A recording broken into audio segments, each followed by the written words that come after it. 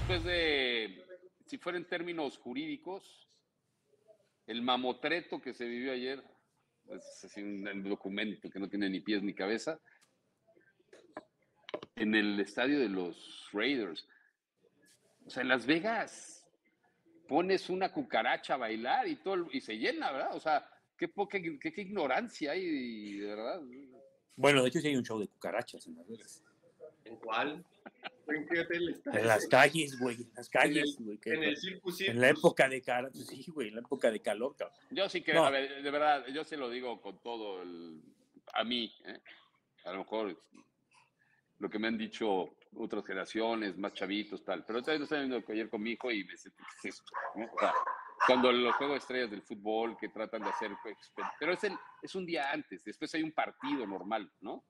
Aquí ni hay partido, ni, ni tiene esencia, ni tiene nada. De verdad, si, si, quieren hacer una fiesta para que se diviertan los jugadores, que se los lleven a ver el Circo del Sol en privado y que se pongan pedos y ya. O sea, ¿para qué lo haces ese ridículo? Sí, creo, creo que es un deporte que no requiere un juego de estrellas ya. Eh. Eso, sí es una realidad. Y habrá que Porque la, la, NBA es a mitad de temporada, la Major League Baseball es a mitad de temporada. Marca, ¿no? Por lo menos en el béisbol marca algo competitivo. Si tú ganas el juego de estrellas, pues a poder recibir los primeros partidos y los últimos en la Serie Mundial. O sea, sí marca cosas. Aquí nada, aquí nada. Y por la naturaleza del deporte es muy complicado hacer un juego de estrellas porque es un deporte de tanto contacto que nadie se va a arriesgar ahí. Que hagan una convivencia, a ver, lo que hacían de verdad era. Exacto, es como, vamos a darnos un show de la UFC, cabrón, ahí de, de cuates, de, estrellas, güey, ¿no? Para ver quién sale más madre. Que volando Snoop Dogg, o cómo se llama el cantante, por Dios. No. Pero bueno, o, un tochito que, ¿no? que salían tres viejitos a sacar la pelota y a lanzar un pase. En fin, Pero mejor vamos, a ver qué nos dice.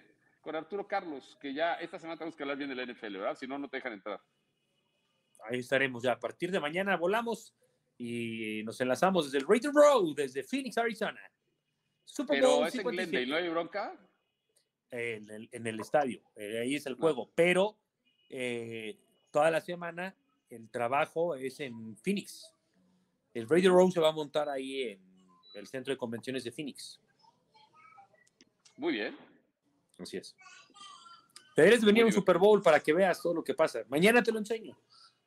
Pero en otra ciudad, ¿no? Pues a ver qué tal. Bueno.